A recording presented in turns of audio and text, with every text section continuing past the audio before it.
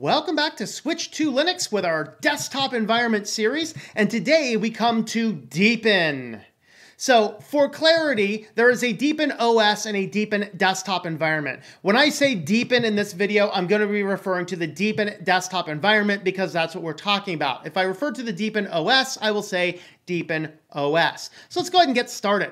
Now, the Deepin OS distribution had a long history. It, it, went back, I forget exactly how far back. I didn't research all the history on that and it used GNOME for a period of time. But then they wanted to come out, and in 2013, the first version of the Deepin desktop environment came out, which was basically a customized and modified GNOME. So it was GNOME with a bunch of customizations, not unlike the start of Cinnamon, the start on Budgie, and a few other uh, a few other different uh, desktop environments that are based on GNOME. In version 3, which rolled out December 31st, 2015, was the complete divergence away from GNOME when Deepin became its own thing. They started introducing more Qt apps, and the desktop really took on this highly polished view that we have now.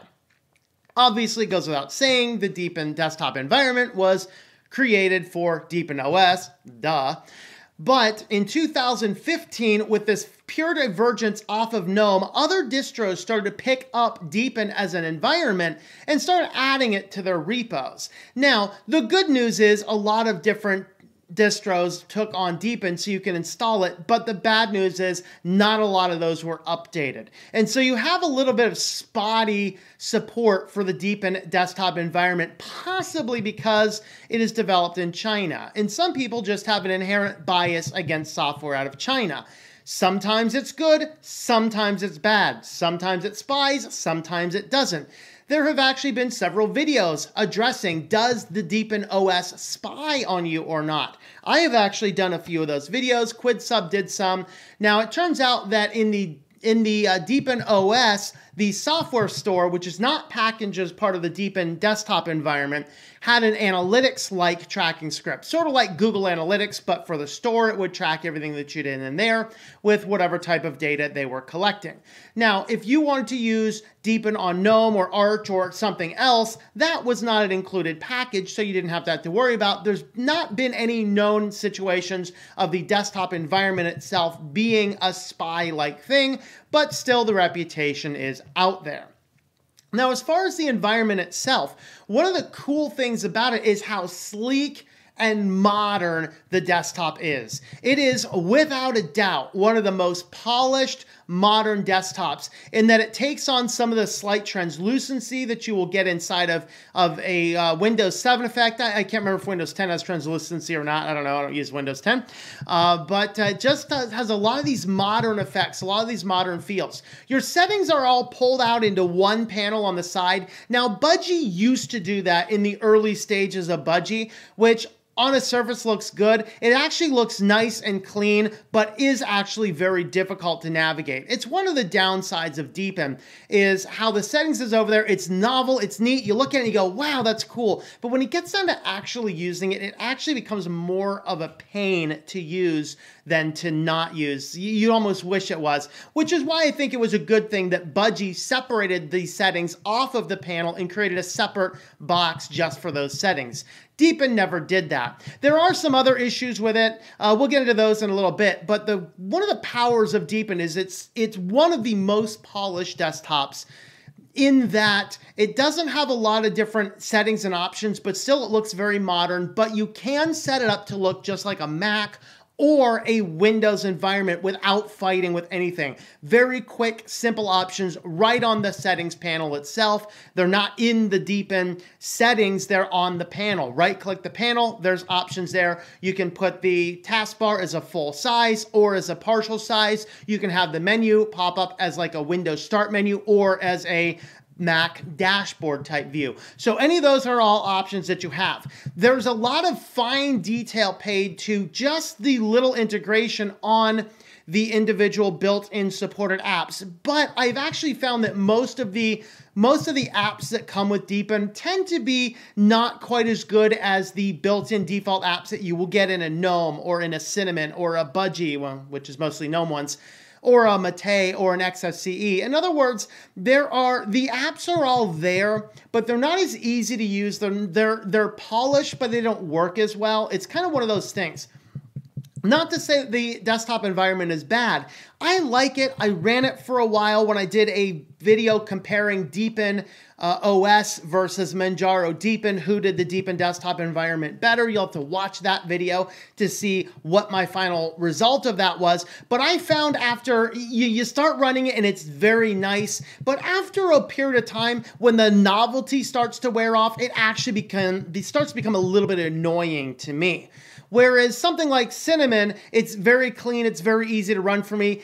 It never becomes annoying. And so I, I never, anytime I boot into Deepin, I usually boot back off of it within a few hours because the notification sounds can't be as easily edited. You can't toggle them on or off for specific applications.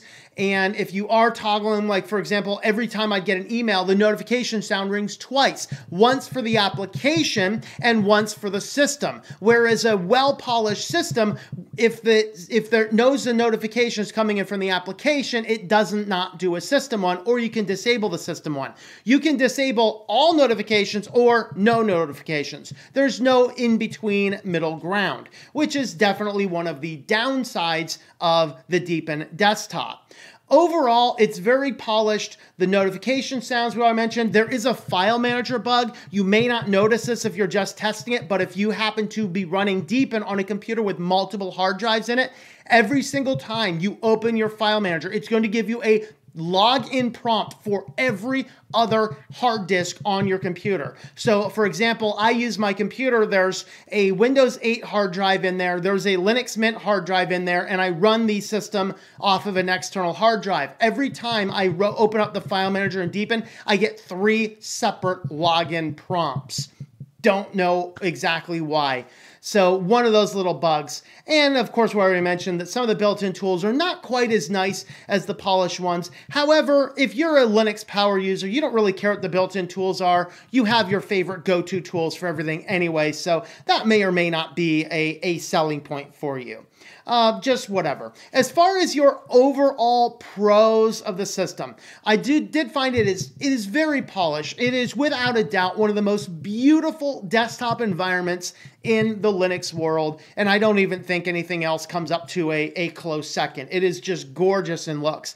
It is also very easy to use. You don't need to read through documentation. It's extraordinarily intuitive, and it it just has this good, clean, easy to use feel. There are some cons. We've already mentioned most of these. Number one, it might be a con for you that it's created by a Chinese company. You have to weigh those various options for yourself. The uh, another con we already mentioned uh, against there's some bugs. There's there's enough little bugs there. There's nothing large compounding, huge, but there's enough little bugs that will kind of drive you a little bit crazy after a while. And it does have limited support. I mentioned at the beginning, a lot of distros picked it up quickly, but they didn't always keep it running.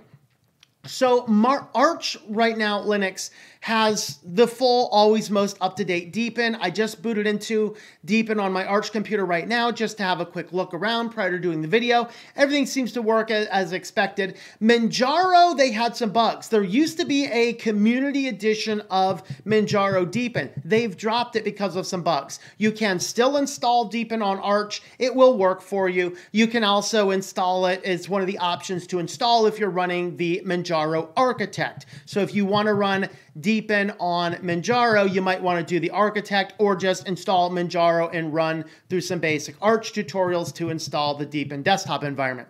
Ubuntu has a build, but last time I played with it, which was only about two months ago, it was an out-of-date version. The system wouldn't work. It would completely sync. What I was trying to do is I was trying to put Deepin on Linux Mint to see how that would work. It wouldn't work at all. It turns out that the packages for Deepin in that uh, PPA were just too old. I'm not sure if there's newer ones out there or not. I just don't know. But as of the last time I tested it on an Ubuntu base build, it didn't work. There is full support on Gentoo. Fedora just added Deepin support. When I tested that out not long ago, it did work just fine. And there is some OpenSUSE support, which I, I'm unclear as to uh, how much uh, support there is. I have not looked at the OpenSUSE build of Deepin. So that is the Deepin desktop environment, where you can get it, how you can use it. Of course, the cleanest, most polished is probably Deepin OS, but I had some reservations about that. If you do want to try it, I would probably try it under either Fedora, which has it as a as an installation option, or maybe using Arch or Manjaro. So those are the places I would test it out if you are worried about the, the Deepin OS privacy issues. So that brings us to the end of the Deepin desktop environment. Let me know your thoughts in the comments down below.